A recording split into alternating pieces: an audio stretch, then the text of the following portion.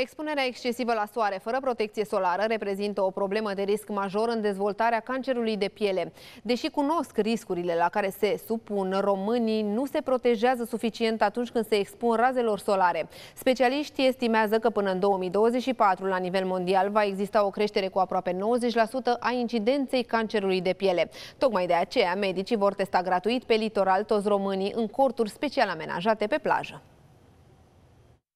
pe plajă, într-o stațiune de-a noastră, din țară, am uh, observat un cort cu o campanie de prevenire a cancerului de piele a Societății Române de Dermatologie.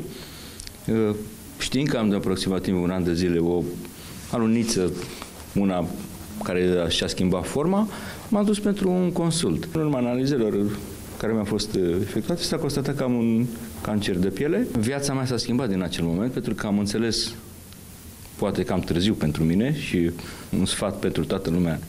Protejați-vă de razele de razele solare. Deci nu este de glumă. Potrivit unui studiu, peste 84% dintre români înțeleg că expunerea la soare crește riscul de cancer de piele, dar nici măcar un sfert dintre aceștia nu se protejează atunci când stau la plajă. Din păcate, leziunile cutanate uh, precanceroase, să spunem, nu au de foarte multe ori simptomatologie care să te facă să te duci la doctor. Așa încât recomandarea noastră este că, indiferent dacă ai sau nu ai probleme sau dacă tu crezi că ai sau nu ai probleme, o dată de două ori pe an este bine să vadă medicul dermatolog, pentru că sunt leziuni aparent banale, sunt niște leziuni care nu te danează sub nicio formă, au un milimetru, nu sunt crescute, nu, nu reprezintă nimic nimic pentru, pentru tine și de fapt sunt o formă de cancer în, în dezvoltare. Specialiștii avertizează că arsurile solare severe din copilărie cresc riscul de a descoperi leziuni suspecte la vârsta adultă. În nefericire, tot ceea ce noi vom face cu copiii vom, uh, vor avea niște repercursiuni pe termen mediu și lung. Arsurile cutanate în perioada copilăriei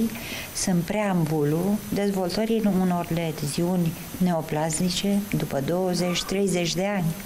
Deci trebuie să avem mare atenție la modul în care ne protejăm copilul. Mai mult, medicii avertizează că până anul viitor, la nivel mondial, se estimează o creștere cu 85% a incidenței cancerului de piele. În acest context, pentru al treilea an consecutiv, campania Asumă-ți să fii sănătos a Universității de Medicină Carol Davila va ajunge pe litoralul românesc și va oferi turiștilor consultații gratuite în endocrinologie și dermatologie.